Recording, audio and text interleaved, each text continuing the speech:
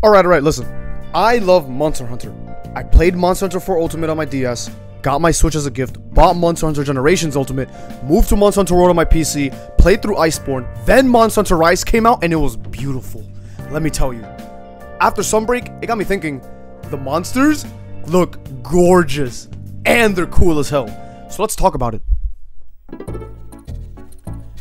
God, I love Rajang. A funny monkey like myself gets supercharged with lightning, looking like something straight out of Dragon Ball, and he gets stronger the angrier he becomes, like a super furry Hulk. Fang Beast and Rise, while they are low in number, some of them really have great designs. The one I want to discuss right now is Garangolm. Imagine Rajang, but greener, bigger, and scaly. I I think he has scales. I don't know. Now you have to abandon your home and settle somewhere else because you decided to piss this thing off. But seriously, look at him. Big boy, am I right? Fighting this guy really sells the whole the bigger they are, the harder they hit notion. People say that, right? Eh, whatever. What does matter is what he can do. Your first time hunting him will be a doozy, but getting his animations and attacks down won't be too difficult. But let's look at his enraged state. Both of them. For the first, he drives his fist into the ground, pulling out two elemental gloves, quote unquote. His left hand is a mossy water slash stone block that inflicts, you guessed it, water blight. And his right hand becomes encased in a magma block that inflicts blast blight.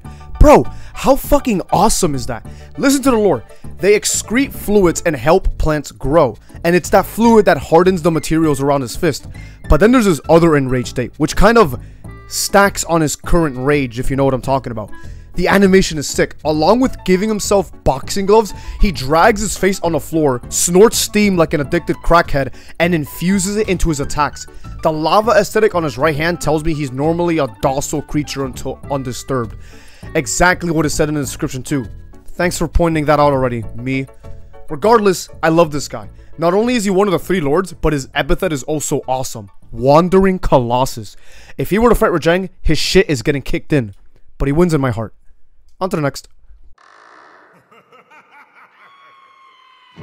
Alright, so you know transformations, right? Just the colors and the power behind them, especially how they're introduced and portrayed.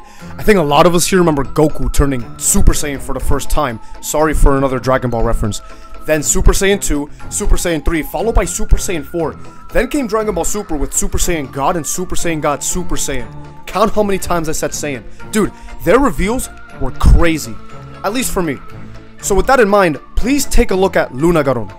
This werewolf-like Fang Wyvern deserves its hype. The first time I saw it in the, in the cutscene, I knew this bitch would be a challenge. It more than exceeded my expectations. It's an ice monster, so the blue fits well. On top of that, due to a special organ, she can freeze the air she inhales and uses it in her attacks. The first rage state has her expelling all that frozen air, forming an armor so thick it even adds spikes at the end of her hands and feet. It's so good, like Wolverine. Then she gets on both of her hind feet. This picture, this picture goes hard. Imagine trying to cosplay like this, even though I couldn't really find any on the internet. I really have trouble expressing how much awe I'm in every time she gets this mad. The armor looks so good, but that's for another video. Maybe. No money back guaranteed.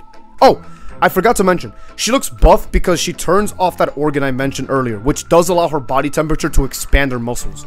Even her super attack, that's what I like to call it, is cool. She flips back and lunges forward, slicing the space in front of her. Thank God the hitbox is generous because it will probably one-shot you. Yeah, it hurts. A lot. You even notice her bright red blood when she stands up. I love how she looks. Oh, did I also mention that she's one of the three lords? With a title like Moonlight Nocturne, you can't get any cooler. That pun was great, and if you didn't like it, you can go feast on some sand from the Gobi Desert. Everyone loves Elder Dragons. I love Elder Dragons so much. They're the natural disasters of Monster Hunter, each having control of an element that makes them both super hard to hunt and also astonishingly beautiful. Teostra has fire, Kushala Daora commands the winds, Chameleos changes the atmosphere in order to camouflage itself, and so much more. Spoilers ahead, but I'm talking about Sunbreak's final boss. Up until all the title update monsters, and his name is Gaismagorm. That name, Gaismagorm. That is so cool. You can probably tell how big and destructive that thing is just from saying it out loud. Large health pool, even larger attacks, and a killer soundtrack to boot. You drop down into the hole he made, the first layer mind you, and roars immediately, letting you know he's there waiting. All of his attacks cause multiple explosions that hit hard, inflicting blast blight. He has his one attack on the first layer, it's where you can do the damage necessary to make him descend, where he sucks the air in front of him, creating a vacuum, claps his hands together, and nukes the space in front of him. Then there's the second phase, which, when you do even more damage, he attempts to climb out, shooting out his little bat buddies to go annoy you, while you're on these machine guns that fall from the sky in order for you to shoot him.